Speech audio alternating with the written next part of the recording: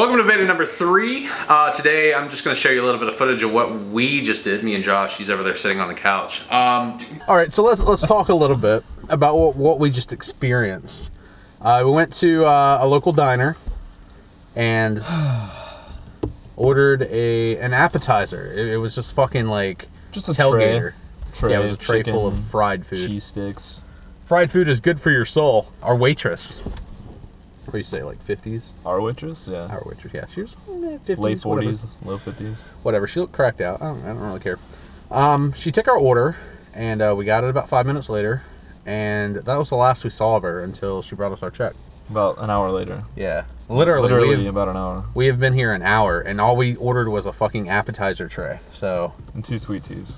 yeah. Point being, service sucked. Uh, I got up like three times to get sweet tea. Actually, I had a guy bring me a whole new sweet tea. He wasn't, wasn't our waiter. He was actually trying to get off of work. And I kind of felt bad. But damn, dude. Spicy ass food.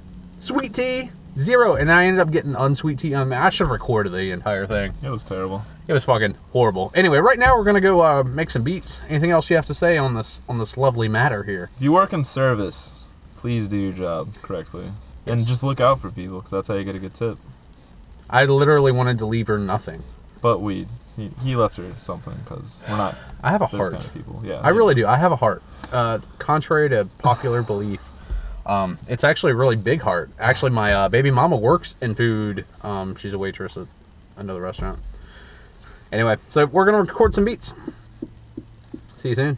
Or Later. not.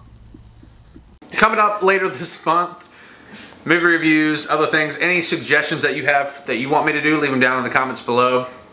And enjoy.